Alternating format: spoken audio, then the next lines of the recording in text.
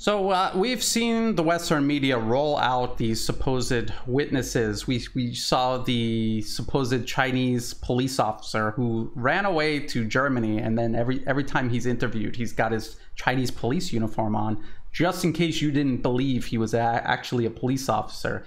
And you, you ask yourself, why the theatrics? You know, I mean, if he just claimed that he was a, a, police officer and he saw these things in Xinjiang regarding the Uyghurs and this supposed genocide the West claims is going on in Xinjiang. Uh, why can't he just tell a compelling story and provide evidence? Well, he can't. They have to make up for that with theatrics.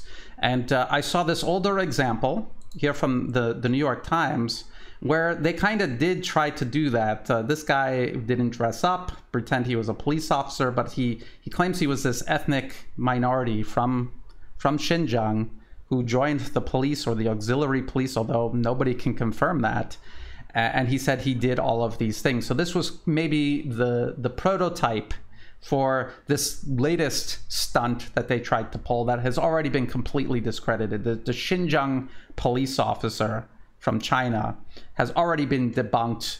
Uh, people were picking out details about his uniform and, and other details like that. But in reality, he told th- com- three completely different stories. He had the Uyghur Tribunal in June uh, of this year, where he had a written statement that contradicted his spoken statement, and then his more recent, in, in October, his more recent interviews with CNN, uh, I think it was the Daily Mail and Sky News, uh, he told an entirely different story again. He, he was not involved with the torture. He was involved with the torture. He didn't even ask about sexual abuse and had no knowledge of it to des- describing it in, in immense detail, uh, completely discredited. You, you have no proof to begin with that you did any of these things or saw any of these things. Plus, your story keeps changing. So just clear him off the table. He is not a credible witness.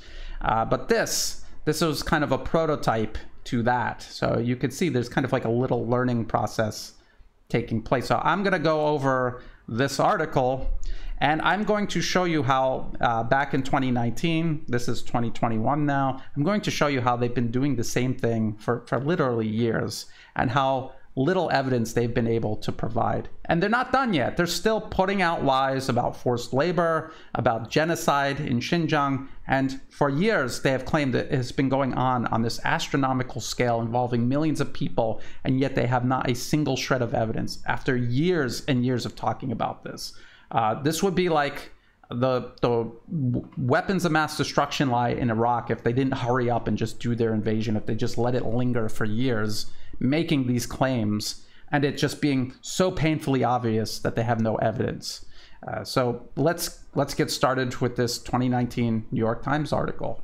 Uh, so this is from the New York Times, and he's saying he needed a job. China gave him one, locking up his fellow Muslims. China's vast attention program for Muslims has required more and more police officers, and recruits are coming from the very ethnic groups that are being suppressed. Now, at face value, this makes absolutely no sense. Uh, they're they're supposedly genociding an entire group of people, and they're doing it by recruiting cadres of of police and auxiliary police made up of the ethnic group they're trying to exterminate.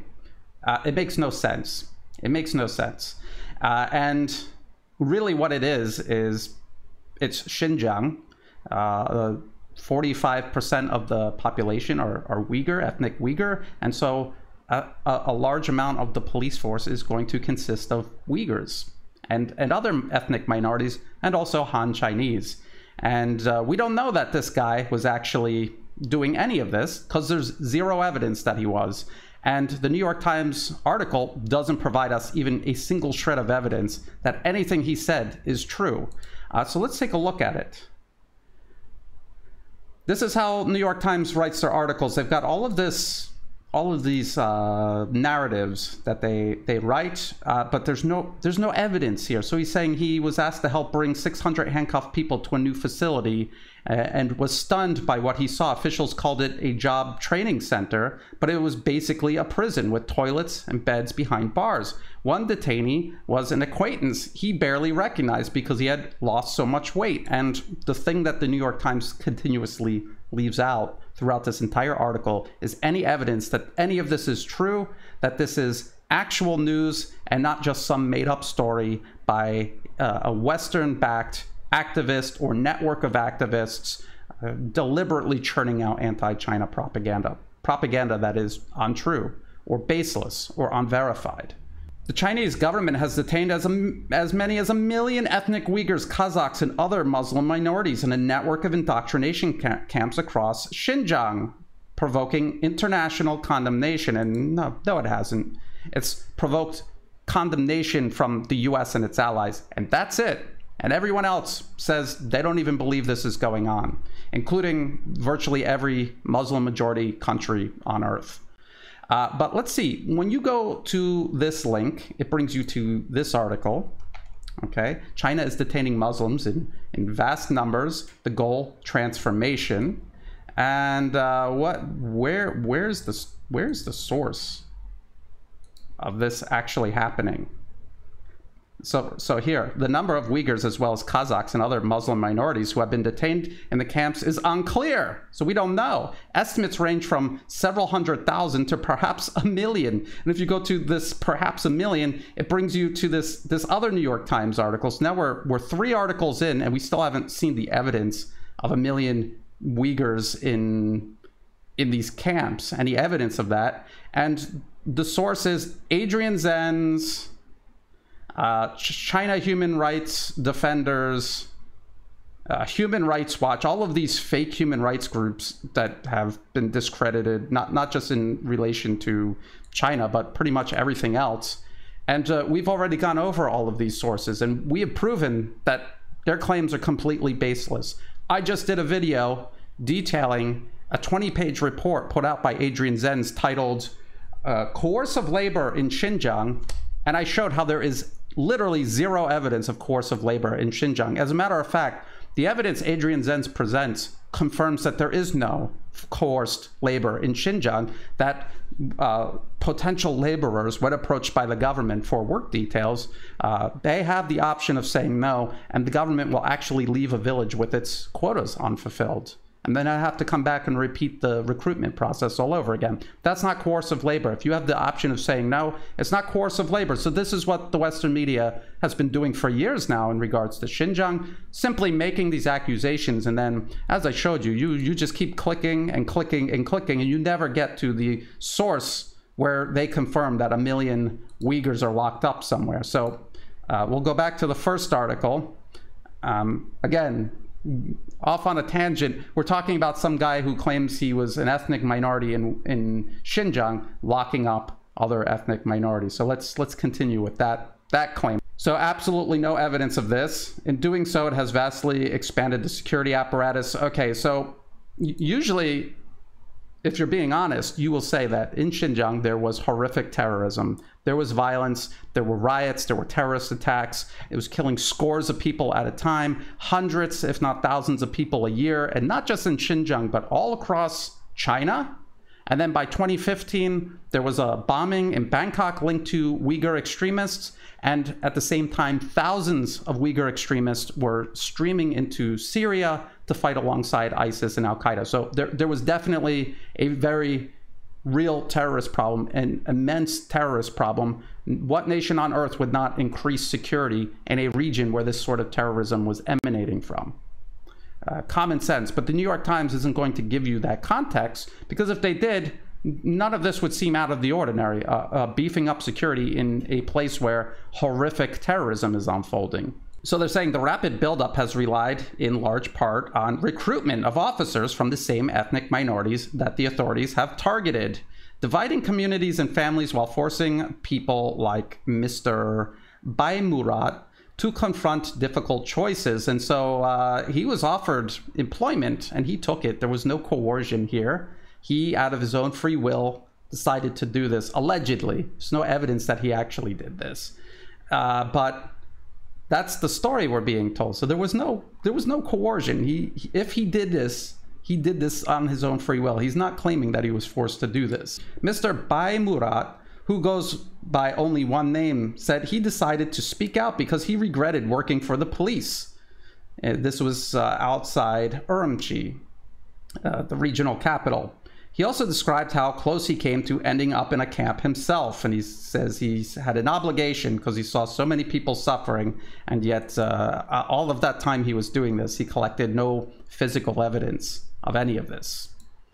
In several interviews, though, uh, Mr. Baimurat description of his experience has remained consistent. So they're saying they're saying uh, a foreign ministry spokeswoman of China confirmed that uh, he worked in security in in Xinjiang uh, in the months he he described, but uh, he was employed by a shopping center, not the police. And they're saying that these are all lies. So that's where the New York Times had a perfect opportunity to offer up evidence that he wasn't lying, and yet they didn't. So it's China says, this guy says, this random guy that the New York Times dug up, uh, obviously cannot verify any of the details of his his story and don't even have the integrity to mention in their article that none of this can be verified.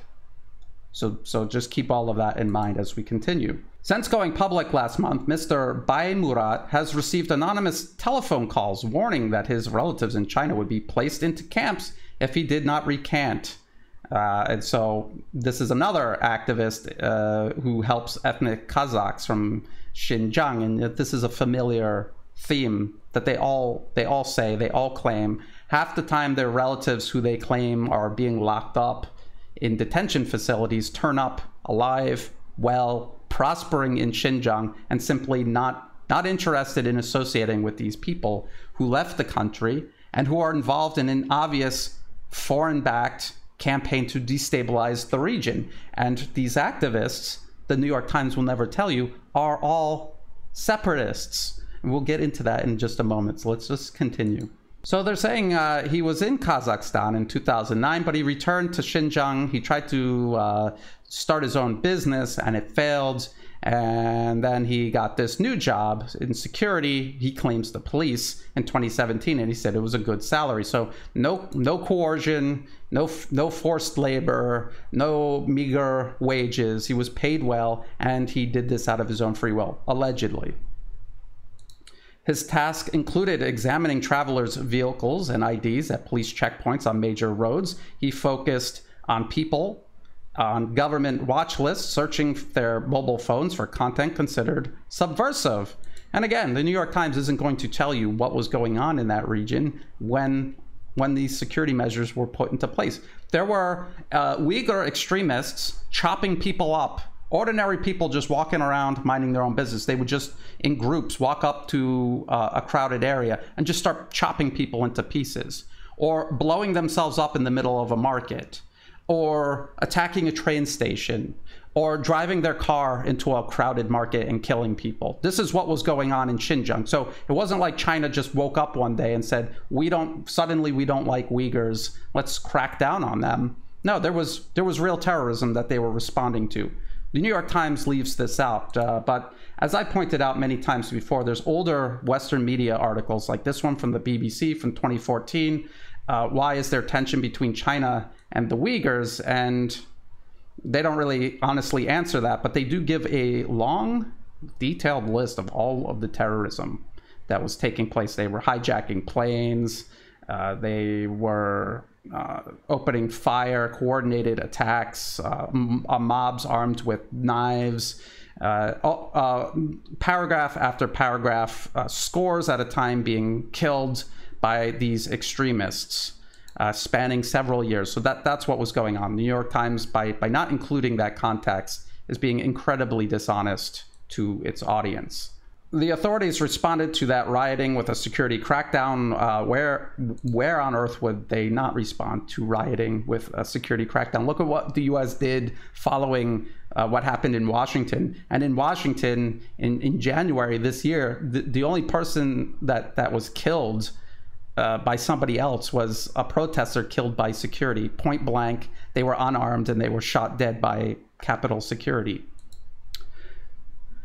Uh, so, again, there's these deadly attacks were blamed on Uyghur separatists who embrace radical Islam. The government appointed a new regional leader in 2016 who tightened. So notice how they're telling you how horrible everything is, and then they, in a very downplayed way, introduce the, the notion that there might have been a real threat taking place. Now, this is where they this is where they substitute a lack of verification in this this witness's story with uh, things that are supposed to look like real evidence. So that was when recruitment of auxiliary office, officers like Mr. Baimurat took off, according to James Leibold and Adrian Zenz. And so these are these are two sources repeatedly discredited over and over again. By 2017, Xinjiang's police forces were more than five times the size it had been a decade earlier. Again, there was horrible terrorism taking place. Of course, the police force would, would expand. So, again, this is the New York Times not giving you any context as to why this was going on and making it sound unreasonable, like it was just uh, uh, evil dictatorship, uh, irrationally just picking out and picking on an ethnic minority in their country that that had up until then lived side by side with everyone else for generations. And then they're talking about decades of uh, migration by Han, China's dominant ethnic group, have transformed Xinjiang, fueling Uyghur anxieties. And this this is not true. And I'm, I'm going to show you what was really fueling the divide. And again, this comes from the Western media, uh, but from older articles. They never talk about this now because they know if they talked about this now, then everything that China is doing would make perfect sense. So here's from the LA Times 2016. Uh, in China, rise of Salafism fosters suspicion and division among Muslims. And what they're talking about in this article is Saudi state sponsored Wahhabism or Salafism. It's a politically motivated perversion of Islam. It is radical, it is extremist. And what they use this for is to transform regions of Muslim majority areas uh, into kind of a political weapon directed by Saudi Arabia, who controls Salafism.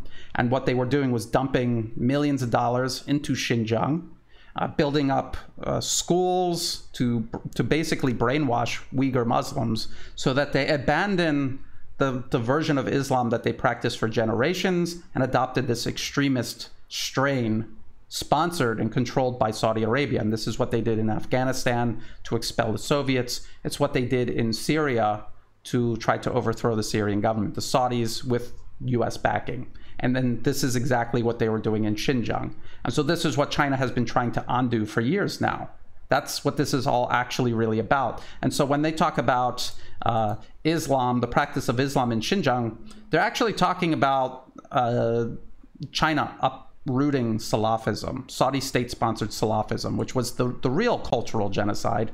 Salafi, Salafism, sponsored by Saudi Arabia, was trying to overwrite the indigenous practice of Islam uh, practiced by Uyghurs for generations. That was the original actual cultural genocide. China was reversing it. And so let's let's continue with this uh, New York Times article. So that's their excuse, but that's not true and again no no evidence at all to substantiate any of this except they they just trust that you you think the new york times is credible Many Uyghurs and Kazakhs complain they have been left out of growth and face discrimination in hiring, along with stifling restrictions on their practice of Islam. So there you go. They're not gonna they're not gonna qualify what they mean by that. But as a matter of fact, the only restrictions on a practice of Islam in China is if you're practicing Saudi state-sponsored Wahhabism, Salafism. It is extremist. It is radical. It spurs people to go out and kill people. And when these people were brainwashed into Saudi sponsored Salafism, it wasn't because they were upset with Beijing's uh, policies. Uh, they were just extremists in general. They would go out and target anybody they thought were practicing an impure version of Islam or people who weren't practicing Islam at all. That's why they would travel to Syria and fight alongside ISIS and Al Qaeda because it was about what they thought was jihad and martyrdom, not, not any specific political cause. Uh, and again, the New York Times completely omits this context. So here we go. Chinese officials quoted in state media have praised the contributions of minority police officers, but those who join the security forces are often viewed with suspicion by both the authorities and their own community. So who's who are they going to quote to give us some insight on this? Uh, Dilxat Raxit, and he's a Uyghur activist in Germany but that's not what he is. He's not a Uyghur activist in Germany. He is the um, he is the according to their own Facebook website here. He is the spokesman for the Germany based World Uyghur Congress. But even though it's based in Germany, it's actually funded by the US government through the National Endowment for Democracy. It's the World Uyghur Congress right here. It's listed and how much money in US dollar amounts they get from the US government on an annual basis. Now, if you go to the World Uyghurs official website, you will notice that they uh, include the flag of East Turkestan. So this, this is not a human rights organization concerned about Uyghurs in Xinjiang. This is a politically motivated separatist organization that seeks to carve Xinjiang off of China, uh, transform it into East Turkestan, uh, some sort of independent Islamic state, basically. And uh, if you come down here, they even admit that they're uh, an occup- they're an opposition movement against Chinese occupation of East Turkestan. To, to give you an idea of how disconnected their their mission is from actual reality, and this is a separatist organization. The U.S. government is openly funding. Okay, so the U.S. government is openly funding separatism inside of China in violation of the UN Charter. The New York Times isn't going to tell you that that little bit about this guy they're quoting. And then here's another one uh, Tahir Imin, uh, a Uyghur activist in Washington, again, part of this, this network of sep- literal separatists backed and funded and supported by the US government. The New York Times never mentions that. And so they're saying there are big problems between Uyghur police and ordinary people. People hate them and consider them as traitors, call them dogs of Chinese. So the only people that would do that are people who are separatists, who believe that Xinjiang should be East Turkestan and buy into this extremist movement trying to carve off territory from China and fully backed by the US. And again, this context is not provided by the New York Times. And so here's uh, Mr. Bilash, a Kazakh activist and ethnic Kaz- and uh, said ethnic Kazakhs who fled Xinjiang do not hold Mr. Baimurat's work for the police against him. Uh, why should they? They can't even verify that he was actually doing this. They can't even verify that he was actually doing this. Nowhere in the New York Times article do they verify that anything he said is true. He says the uh, worst experience was bringing people to the internment camp. The government presents the camps as part of a vocational training campaign that steers Muslims away from religious extremism and has halted violence. And this is demonstrably true. The, the violence has stopped, and these people are rejoining society after being brainwashed by Saudi sponsored Salafism. They have rejoined society. They are working side by side everybody else. They've gotten rid of their, their extremist habits and beliefs, and now they can function in society again.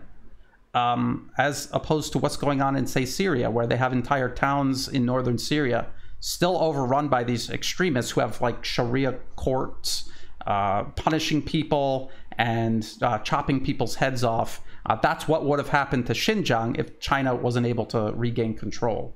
And then uh, former inmates, however, say the uh, authorities hold people without charge and force them to renounce their religious beliefs. Yes, if you're if you're a Salafist brainwashed by Saudi state-sponsored Wahhabism, then that's probably how you're going to feel.